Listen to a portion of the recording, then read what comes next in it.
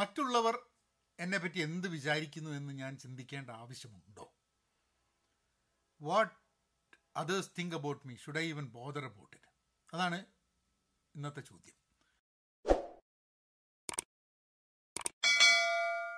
ഇത് ധാരാളം നടന്നുകൊണ്ടിരിക്കുന്നൊരു ചോദ്യമാണ്. കാരണം നമ്മൾ ബാക്കിയുള്ളവരെന്ത് കരുതും എന്ന് വിചാരിച്ച് ജീവിക്കരുത് എന്ന് പറയുന്നത്. പക്ഷെ നമ്മളുടെ ഇന്നത്തെ ഒരു സെറ്റപ്പിൽ നമ്മൾ സാമൂഹ്യ മാധ്യമത്തിലായാലും സമൂഹത്തിലായിട്ടും ഒക്കെ നമ്മൾ കമ്പയർ ചെയ്യപ്പെടുന്നുണ്ട്. ഒന്നെങ്കിൽ മറ്റുള്ളവർ കമ്പയർ ചെയ്യുന്നു അല്ലെങ്കിൽ നമ്മൾ സ്വയം കമ്പയർ ചെയ്യുന്നു. പൂർണമായിട്ടും ആ കമ്പാരിസണിൽ നിന്ന് നമുക്ക് രക്ഷപ്പെട്ടിരിക്കാൻ പറ്റുമെന്ന് എനിക്ക് തോന്നുന്നില്ല. ഇതോ ധാരാളം മോട്ടിവേഷൻ ആൾക്കാരൊക്കെ പറയും നിങ്ങൾ അത് ചെയ്ത് ഇത് ചെയ്ത് നിങ്ങൾ അതിനെപ്പറ്റി ആലോചിക്കണമെന്നുള്ളത് പക്ഷേ നമ്മളൊരു കളക്റ്റീവായിട്ട് ജീവിക്കുമ്പോൾ നമ്മൾ ഒറ്റയ്ക്ക് ഒറ്റപ്പെട്ടിട്ട് എവിടെയെങ്കിലും ജീവിക്കുകയാണെങ്കിൽ ചിലപ്പോൾ നമുക്കത് പ്രശ്നം ഉണ്ടാവില്ല. അല്ലെങ്കിൽ നമ്മൾ കമ്പയർ ചെയ്യും. ഇപ്പോൾ നമുക്ക് എന്തെങ്കിലും ഒരു സാധനം നേടണമെന്നുണ്ടെങ്കിൽ നമ്മൾ പലപ്പോഴും ആ കമ്പാരിസന്റെ മുകളിൽ അത് ആ കമ്പാരിസൺ നമ്മളെ നെഗറ്റീവായിട്ടാണോ പോസിറ്റീവായിട്ടാണോ ബാധിക്കുന്നത് എന്നുള്ളതാണ് നമ്മൾ കൂടുതൽ ശ്രദ്ധിക്കേണ്ടത്. കമ്പയർ ചെയ്യുന്നുണ്ടെന്നുള്ളതല്ല. മറ്റുള്ളവർ നമ്മളെപ്പറ്റി ചിന്തിക്കുന്നത് കൊണ്ട് ആ ഒരു ചിന്ത നമുക്കുണ്ടാവുന്നത് കൊണ്ട് നമുക്ക് ദോഷമാണോ ഗുണമാണോ എന്നുള്ളത്. ഫോർ എക്സാമ്പിൾ ഇപ്പം ഞാൻ സിഗരറ്റ് വലിക്കുന്നത് മോശമാണ് എന്ന് വിചാരിക്കുക. ഞാൻ സിഗരറ്റ് വലി നിർത്തിയിട്ടുണ്ട് കേട്ടോ അപ്പം പക്ഷേ ആ ഒരു എക്സാമ്പിൾ എടുക്കുക. ഞാൻ സിഗരറ്റ് വലി വലിക്കുന്ന ആൾക്കാർ മോശമായിട്ട് ഞാനൊരു മോശക്കാരനാണ് സിഗരറ്റ് വലിക്കുന്നുള്ളതുകൊണ്ട് ഞാൻ വലി നിർത്തി കഴിഞ്ഞാൽ ആർക്കാ ഗുണം? എനിക്ക് എനിക്കല്ലേ. അതുമാതിരി ഉള്ള ചില കാര്യങ്ങൾ. അപ്പം ബാക്കിയുള്ളവർ എന്ത് ചിന്തിക്കുന്നു എന്നുള്ളത് പൂർണമായിട്ടും നെഗറ്റീവ് ചെയ്ത് എടുത്ത് കളയേണ്ട ആവശ്യമില്ല എന്നുള്ളതാണ്. പക്ഷെ അത് പലപ്പോഴും ആൾക്കാർ പറയുന്നത് എന്താ വെച്ചാൽ നമ്മൾ നമ്മളെപ്പറ്റി ആൾക്കാർ എന്ത് പറയുന്നു എന്നുള്ള ആലോചിച്ചിട്ട് നമ്മളുടെ ജീവിതത്തിന് നെഗറ്റീവായി ബാധിക്കാനുള്ള സാധ്യതകൾ എന്നുള്ളതാണ്. അങ്ങനത്തെ സാധ്യതകൾ how do we handle self confidence and self awareness അല്ലെങ്കിൽ ഒരു സെൽഫ് ആക്സെപ്റ്റൻസ് എന്ന് പറയുന്ന സംഭവമുണ്ട്. അതായത് നമ്മളെ കുറിച്ചിട്ടുള്ള നമ്മളുടെ ഒരു കോൺഫിഡൻസ് അല്ലേ? വിശ്വാസം.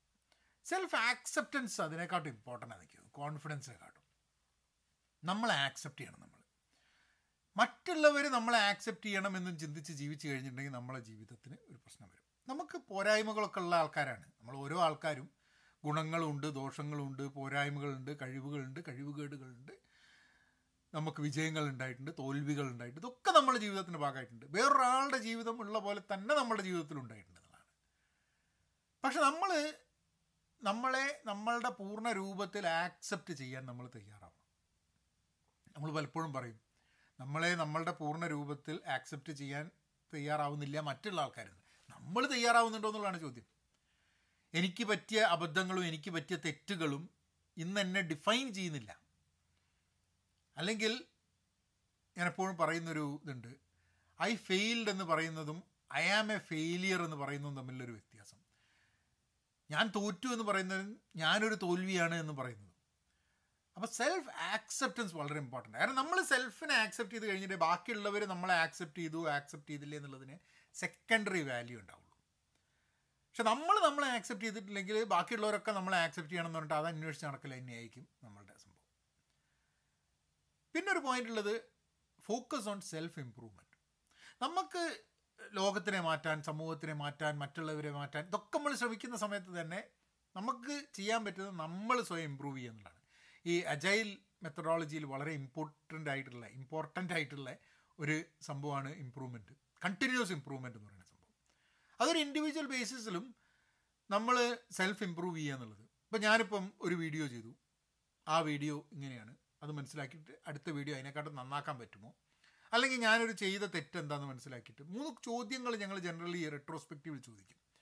What went well what did not go well what I can improve ഈ മൂന്ന് സംഭവങ്ങളാണ്. അപ്പോൾ എന്തൊരു ഒരു ദിവസത്തിന്റെ അവസാനം നമ്മൾ ചോദിക്കുകയാണ് നമ്മളോട് ആ ഇന്ന് നടന്ന മോശം കാര്യങ്ങൾ എന്താണ്? ഇന്ന് നടന്ന നല്ല കാര്യങ്ങൾ എന്താണ്? ഇന്ന് നടന്നതിൽ നിന്നും നാളെ കുറച്ചും കൂടി ഇമ്പ്രൂവ് ചെയ്യാൻ പറ്റുന്ന കാര്യങ്ങൾ എന്താണ്? മോശമായി നടന്നത് ഇനി നടക്കാതിരിക്കാൻ വേണ്ടി എന്തെങ്കിലും ചെയ്യാൻ പറ്റുമോ? നല്ലതായിട്ട് നടന്നത് ആക്സിഡന്റ് അല്ലാണ്ട് എനിക്ക് റിപ്പീറ്റ് ചെയ്യാൻ പറ്റുന്നുണ്ടെങ്കിൽ നാളെ എനിക്കത് ചെയ്യാൻ പറ്റും എന്നുള്ളത്. അങ്ങനെ നോക്കിയിട്ട് ഇമ്പ്രൂവ് ചെയ്യാൻ വേണ്ടി ശ്രമിക്കും. കാരണം നമ്മളുടെ ഒരു സെൽഫ് ഇമ്പ്രൂവ്മെന്റ് ജേണിയിൽ നമ്മൾ പോയി കഴിഞ്ഞിട്ടുണ്ടെങ്കിൽ ബാക്കിയുള്ളവർ നമ്മളെ പറ്റി ചിന്തിക്കുന്നു എന്നുള്ളതിന് നെഗറ്റീവ് ഇമ്പാക്റ്റ് കുറയാനുള്ള സാധ്യതയുണ്ട്. കാരണം നമ്മളുടെ ജേണി നമ്മളെ ഇമ്പ്രൂവ് ചെയ്യുക എന്നുള്ളതാണ്.